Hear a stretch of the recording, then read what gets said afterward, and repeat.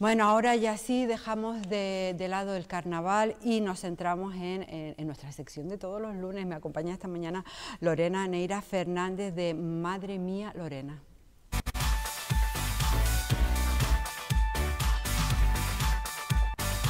Lorena, ¿qué tal estás? Buenos días. Madre, con esta calima Hoy más que nunca aquello de madre mía. Madre mía, es que mira que se ha liado la Morena con la calima, ¿eh? Es tu primera vez de calima en la isla, si no me equivoco. Es mi primera calima. Eh, tengo que decirte que eh, aquí tenemos calima habitualmente, pero con esta intensidad eh, no lo recordamos desde hace mucho. Es un caos. Realmente se ha liado la Mari Morena. La Mari Morena. Bueno, ya parece que está remitiendo, esta tarde ya parece que aflojará la cosa, pero sí, realmente se pasa bastante mal.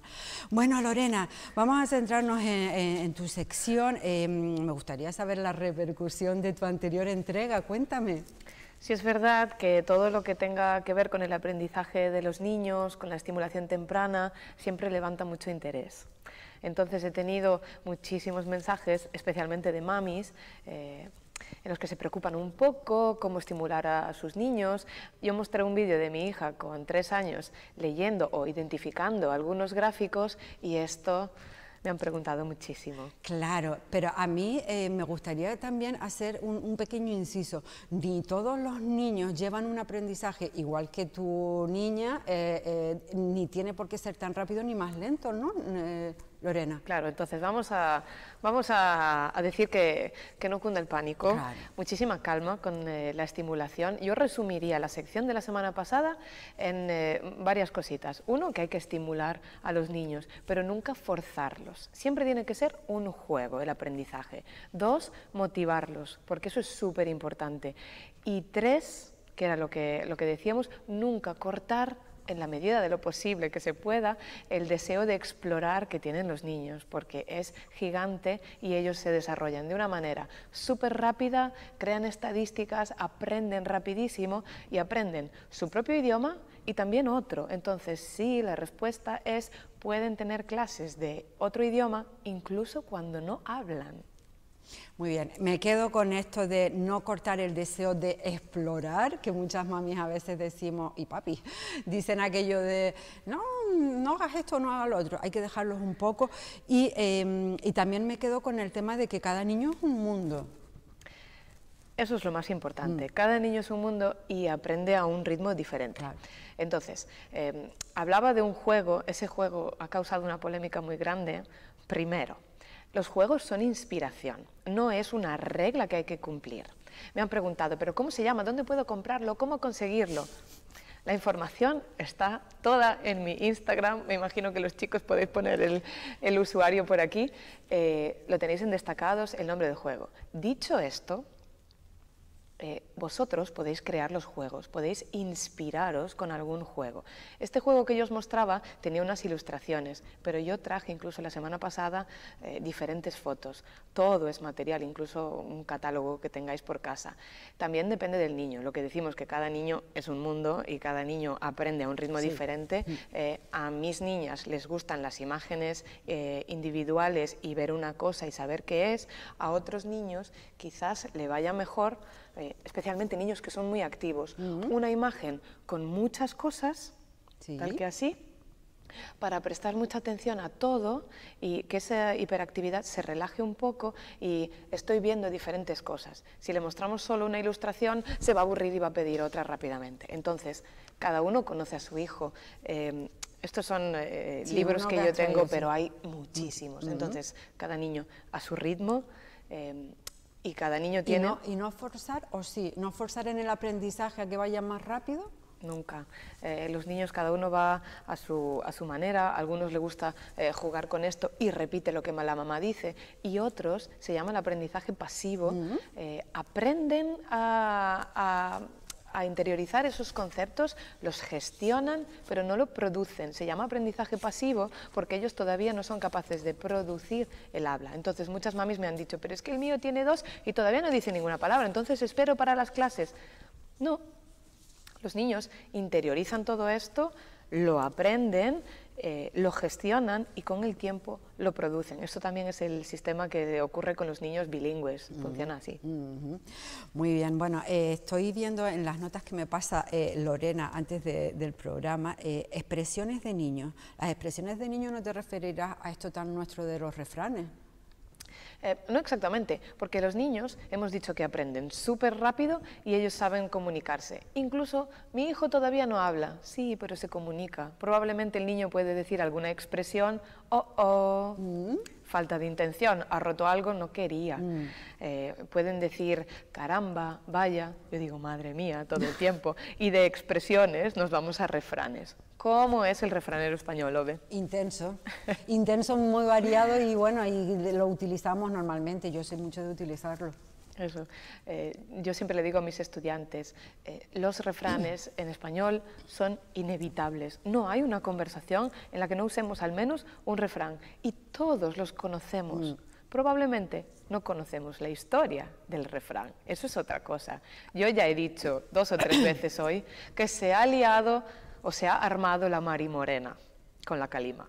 ¿Quién era Mari Morena? ¿Quién era la Mari Morena? Exacto. Entonces, hay mucha historia detrás de cada refrán eh, y uno de ellos es armarse la Mari Morena. Esto viene del Madrid de los Austrias. De mira si tiene, exacto, mira si tiene historia.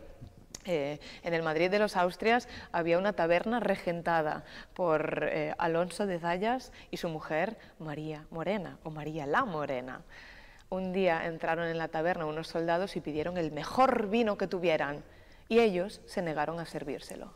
Bueno, se armó la marimorena. Una pelea tan grande, una trifulca tan grande que hubo un proceso judicial súper famoso. Desde entonces existe la expresión porque dicen que la que repartió más leña fue, Mari la Morena. Qué bueno, oye, no, no tenía ni idea. Hay muchísimas expresiones, desconocemos las historias, pero son geniales. Pero es eso, que las usamos mucho de manera tan natural que desconocemos el origen. Mi favorita es estar en Babia. Estar en Bavia. ¿Quién no ha estado en Bavia? Bueno, continuamente, en mi caso continuamente. estar en Bavia es estar absorto en tus pensamientos, distraído, y es un municipio en León. Este municipio en León, los reyes de León, eh, de hace muchísimo tiempo, cada vez que querían descansar un poquito de sus eh, obligaciones de la corona, eh, iban a Bavia a desconectar, a cazar, a pescar. Luego, cuando volvían al palacio y no querían ser molestados, decían a sus sirvientes que por favor informaran que estaban en Babia. Y así. Muy bien, o sea que Babia existe. Babia existe, Babia existe, es un municipio. Eh, también existe Úbeda. ¿Úbeda? ¿Eso está en Jaén? Sí. ¿Qué expresión conoces con Úbeda? Estás en los cerros de Úbeda irse por los cerros de Úbeda, ¿sí? Cuando alguien cambia de tema, no quiere hablar de lo que le has preguntado, esto también viene, madre mía, del año, creo que era 1200, sí, 1233, en plena reconquista. El rey Fernando III, el santo, mandó a uno de sus terratenientes a controlar uno de los cerros, ¿sí? estas colinas de, de Jaén. Nunca llegó porque se encontró una mora tan guapa que, bueno, pues se quedó. Eh, y cuando le preguntaban, oye, pero ¿qué pasó con tu misión? ¿Por qué no la has cumplido? Es que se extravió por los cerros de Úbeda.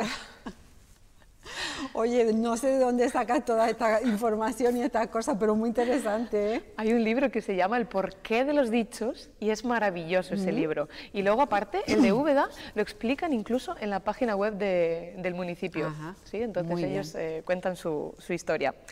Eh, otro de mis favoritos, que siempre se lo explico a mis estudiantes, porque a veces son un poco vagos, no hacen los deberes, no me escuchan. Y digo, es que no dais palo al agua. ¿No? Dar palo al agua. Esto tiene un Eso origen... Es muy de madre y de padre, no dar palo al agua. Claro, y tiene origen marinero. Entonces, esto tiene que ver con los marineros que eran un poquito más vagos y no remaban. Entonces no daban palo al agua. Y entonces cuando alguien no colabora o no hace mucha cosa y es un poco vago, es que no da palo al agua. Pues muy curioso esto de los orígenes de los refranes, ¿eh? Me encanta. ¿Alguno ah, más? Hay muchísimos, venga, te cuento uno más. El del San Benito. ¿Tener un San Benito? Echarse el San Benito de algo, tener fama de algo, em, cuando ya tiempos de la Inquisición, eh, cuando alguien se arrepentía de algo malo que había hecho y era perdonado o indultado, el cura bendecía un saco y se lo ponía. Era el saco bendito o el San Benito, pero la gente que lo miraba ya sabía que había hecho algo malo aunque se hubiese arrepentido. Entonces, tener el San Benito de algo, si es que algo has hecho, me encanta. Me gusta muchísimo lo que nos has traído hoy, Lorena. Eh, no sé si eh, refranes populares y además muy conocidos por todos. Todos los usamos y te voy a poner a prueba. A ver. Voy a ver si realmente controlas el refranero español o no. Porque tú me has dicho que te encanta. Yo, creo que sí, pero ya verás que ahora me va a decir uno que no. te voy a poner a prueba y te, propongo un juego. Tú tienes que terminar, porque muchas veces es verdad, yo se lo digo a mis estudiantes, no hace falta memorizarlo todo. Si tú dices la primera parte, ya todos entendemos cómo termina eso, ¿no? Eh, entonces te voy a decir la primera parte, que normalmente es suficiente, pero voy a ver si lo sabes terminar. ¿Preparada? vamos allá. Venga. Cría fama y cría fama y te lloverán los cuervos o algo de cuervos. y échate a dormir. venga, a ver si sabes este. No hay mal. Que por bien no venga. Perfecto. Si te he visto. No me acuerdo. Lo cortés. No quita lo valiente. Y a rey muerto. Rey puesto. Te lo voy a poner más difícil. Te voy a decir la segunda parte. A ver. A ver si sabes la primera. Venga. ¿Preparada? Tal astilla. De tal palo perdió su silla. El que fue a Sevilla. ¿Mangas verdes? No, no, esto mangas verdes algo de... A buenas horas. A buenas horas, mangas verdes. Eh, ese también tiene una historia muy buena. Eh, y hay algunos que van desarrollando con el tiempo y, con nuestra situación y nuestra sociedad. Hay uno que es eh, ojos que no ven...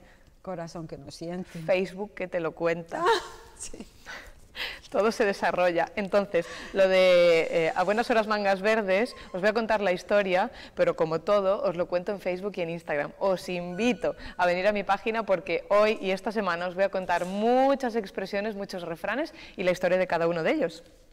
Madre mía, Lorena, lo estamos viendo por ahí, lo acaban de poner, sí, son los perfiles de, Lorena Neira en las redes sociales. Un placer, como siempre, que bien me lo paso contigo, Lorena. Muchas gracias, Me encanta.